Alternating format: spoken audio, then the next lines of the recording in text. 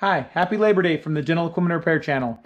Today I'd like to show you a quick handpiece tip that may save you some money, or it may help you provide better service to your customers.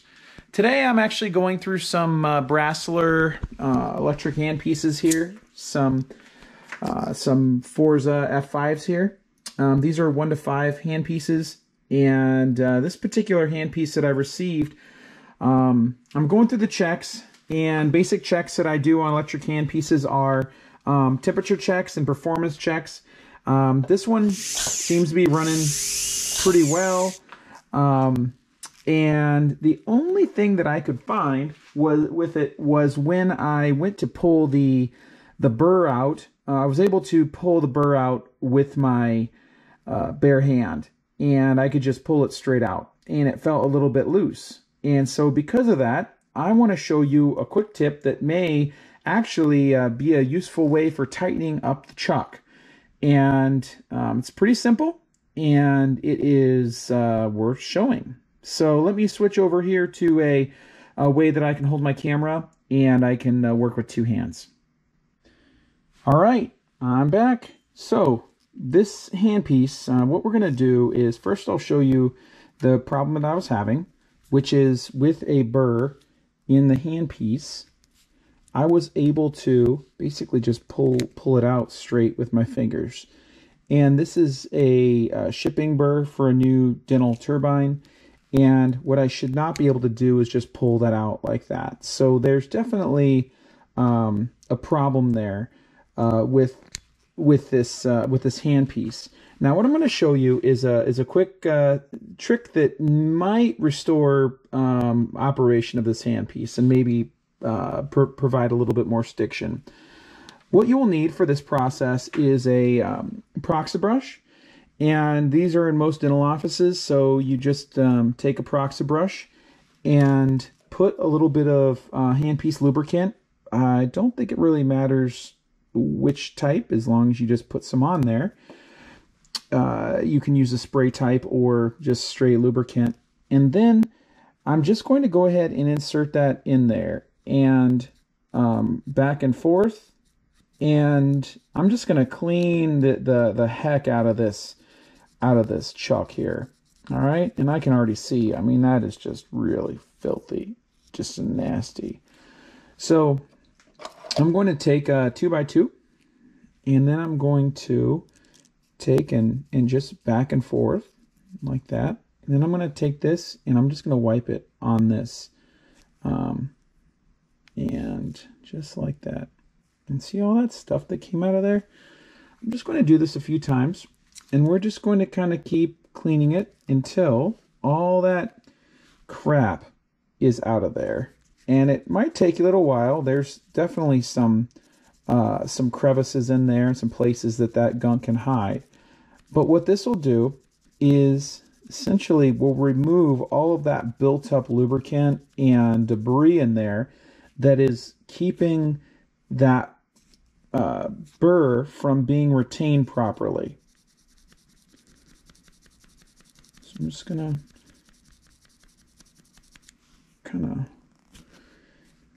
and the trick here is pretty much just keep lubricating it and keep transferring that material until it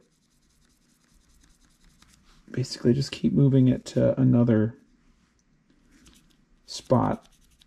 You can use like a paper towel or I just have these two by twos. And I'm just going to keep doing that until I'm able to get out of there. And you can do this with any um, high-speed handpiece, um, air-driven or electric. This just happened to be one that I found. And obviously I'm not,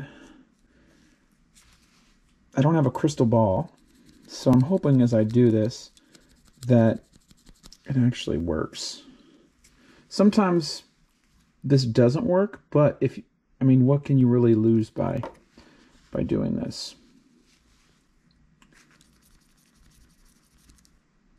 All right, all we're to do is keep cleaning it until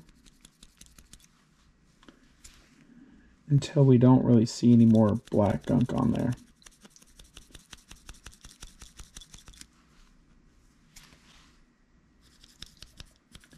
These these electric handpiece uh, repairs are extremely costly, um, especially for the electrics. And this this electric here doesn't have any problems heating up. I mean, it's everything runs well. It just, everything seems all right, except for those burrs are able to just pull out by hand, which is not not good. So I'm gonna wipe her down here. Gone a few cycles there. Now, let's see if I'm able to do what I was able to do before. Okay, so that's in there. Now I'm pulling and I'm like really trying here and I can't get it out by just pulling. Okay.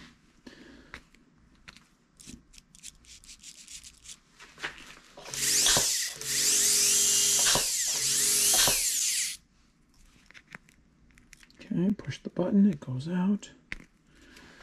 That is not going anywhere. So, appears that our everything worked here. Now, see if we're able to. That's definitely more stronger than it was.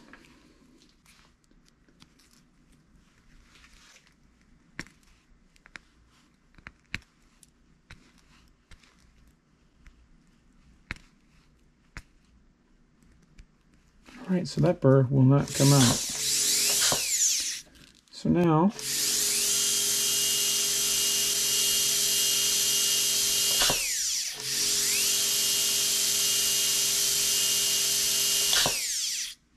okay, not running. It's not not pulling out.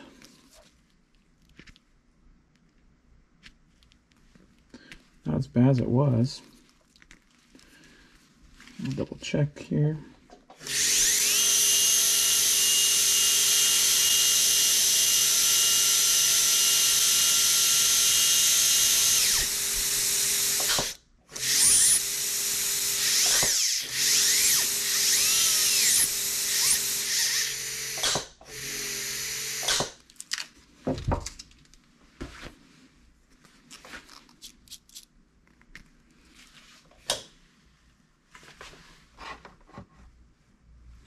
Oh, I did get overheat, overheat error.